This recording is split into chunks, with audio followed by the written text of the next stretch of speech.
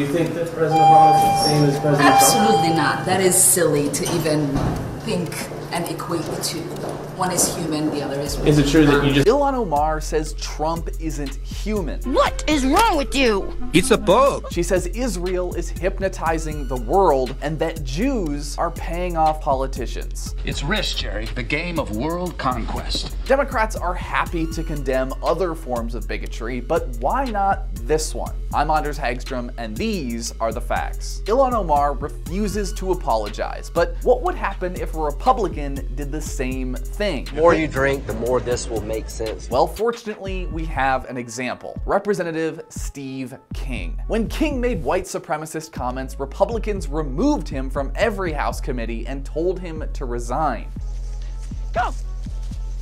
Yet Omar still sits on her committees where she's allowed to do things like this. That is a ridiculous question, and I Yes not- or no? No. I, I will, Sorry, t- Mr. I will Chairman, take that I'm- as a yes. I am not going to respond to that kind of personal attack, which is not a question.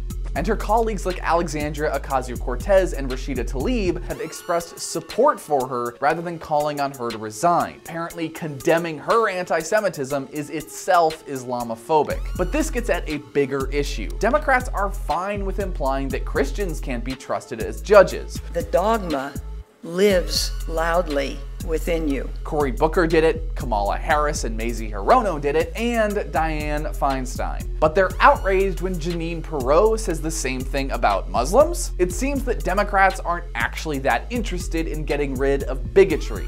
He has been even more bitter about America's Jews. They're interested in getting rid of Republicans. Thanks for watching and be sure to like and share this video if you liked it and you want to share it. And also be sure to like our page here at the DCNF Presents the Facts and our friends over at American Voices in the Daily Caller. And if you're watching on Facebook, you can like my page in the description. And rather than a normal comment section, here are some clips from a video I was in last week. American ISIS bride's first television interview. It was an ideology that really was just a phase. I went through a punk rock phase, I went through a Lord of the Rings phase, but I never went through an ISIS phase.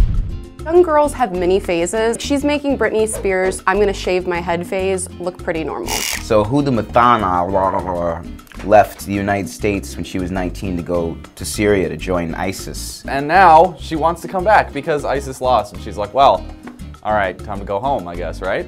You know the story of the boy that cried wolf? She's the girl who cried Allahu Akbar.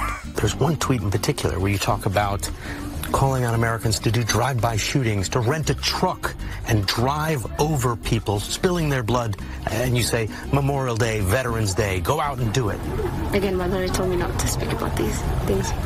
If your lawyer says not to talk about these things, you're guilty. Maybe she needs a publicist instead of a lawyer. Wow, what a piece of shit.